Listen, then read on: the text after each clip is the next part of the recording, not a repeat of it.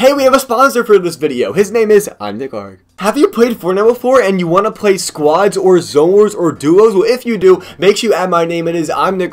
Comment down below your name so I can accept you. Every time I do open lobbies, I'll be going live on Twitch. That's also linked down below in the description. So, I'll see you guys there. Thank you, I'm Nick for sponsoring this video, and let's get right into it. Yo, what's going on, guys? It's your boy, I'm Nick here. Welcome back to the channel. Hope you're having a great day or night so far. In today's video, I'm going to be showing you guys simply where you can find Fortnite lightsabers, just like that. And with that said, just a reminder, if you guys are new to my channel, make sure you guys subscribe. You will not be disappointed by subscribing. I would love to have you on this channel as well. And on top of that, I have fire content coming very, very soon that you do not want to miss. I can promise you on that. And with that said, drop a like on this video if you guys do enjoy and you found it helpful. And let's get right into it. Alrighty guys, so these lightsabers are kind of crazy. You have to get used to them before you can actually be good with them. And how you get used to them is by finding them more. So what you want to do is these lightsabers are found in chests, but not ordinary chests. These chests look like this.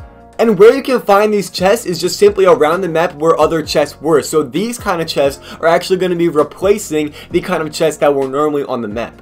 And in these chests, they don't contain only one lightsaber. They contain one of each color. So with that said, I want you to let me know down below in the comment section real quick, what color lightsaber is your favorite? Do you like the green one, the red one, purple one, or blue one? I would love to know your thoughts on this, and I'm genuinely interested in what you guys think. Personally, I'm, I'm a green kind of guy.